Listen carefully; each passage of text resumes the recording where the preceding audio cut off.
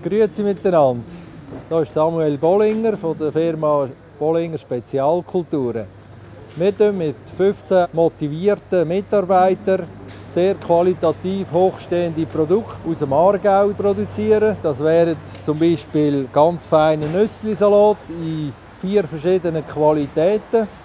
Wir haben wunderschöne Radiesli, die auch geschmacklich sehr hervorragend sind, mit einer gewissen Schärfe.